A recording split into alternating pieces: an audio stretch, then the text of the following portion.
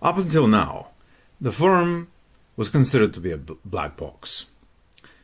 Factors of production go in, outputs go out, but whatever happens inside was a mystery.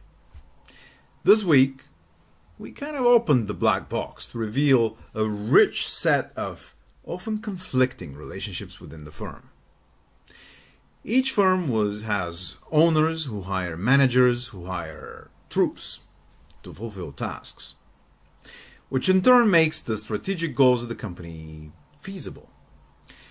However, while doing so, the owners want more profits, the managers want higher managerial compensation, and workers want to minimize effort for a given task. So, unless it's an exceptionally well run firm with a cult corporate culture, these goals that these groups within the firm have, they're rarely aligned, are they? So, to align them better, the, the firm sets up contracts. However, by nature, those contracts are incomplete.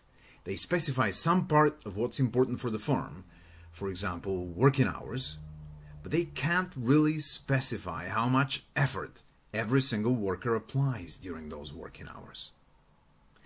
And then specifying the effort is not really possible because effort is not directly observable. But it's this effort that makes the difference for the output of the firm. It's not how many hours of work the worker sits behind their desks.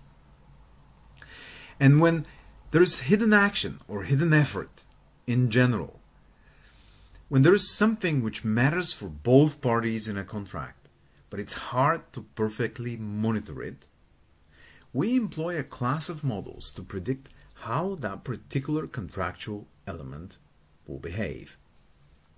We call this class of models principal agent models. The principal agent models can reveal, for example, what happens with uh, worker effort when it's unobservable. The labor discipline model um, is just one example of those principal agent models. In this model, the employer proposes a wage which is never equal to the minimum wage. The reason is that minimum wages minimize the wage bill, indeed, but they're not optimal for the firm. And they're not optimal because they extract very little effort from the workers. And that's why firms pay workers more than their reservation wage. That's the wage which makes them indifferent between working and not working. When workers get a positive employment rent, they start behaving differently. They are afraid to lose their jobs, and the threat of losing their jobs makes them work much harder. Still, hard work is not a goal per se.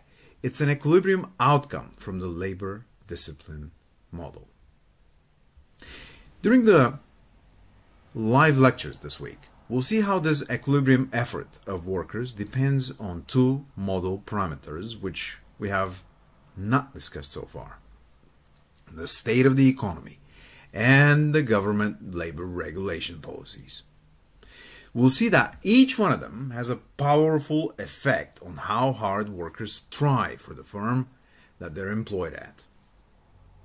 So, join us online or on campus for the for the live lectures to learn more about this exciting interaction that happens within the firm. And before that, you may want to have a look at the weekly uh, chapter readings from the textbook. And why not read more about it in the in the two optional articles here? Thanks. See you soon.